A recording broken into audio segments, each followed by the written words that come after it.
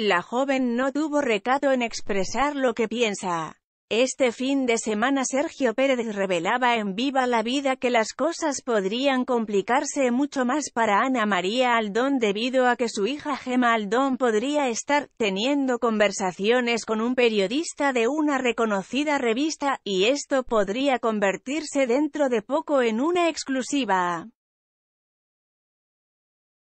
Como si eso no fuera suficiente, esta semana arremetió en contra de Rocío Flores sorprendiendo la forma en cómo lo ha hecho.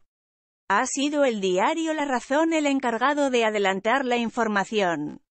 La primogénita de la diseñadora ha respondido de forma tajante a uno de los mensajes que le llegó en las redes sociales a una usuaria afín con la marea azul.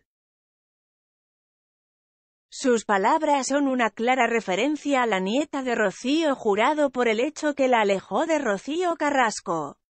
La que pega palizas de muerte a sus madres respondía Gemma Aldón en Instagram. De seguro una reacción que no será del agrado de Rocío Flores quien ha luchado por dejar este tema en el olvido, pero todo se ha tornado muy complicado. Y no sería la primera vez que hija de Ana María Aldón da un paso al frente por dejar en evidencia que la ex superviviente claramente no es de su agrado. Hace algunos días afirmó que si yo contase todas mis verdades, pueden rodar cabezas. Sus últimos movimientos dejan en evidencia que se acerca la polémica. Asimismo, Gemma Aldón con esa respuesta a la usuaria, reafirmó que no está del lado de Rocío Flores.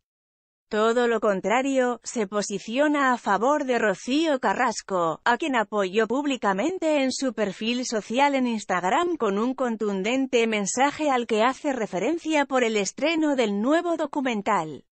Ella, fuerte y valiente. Ya no la callan.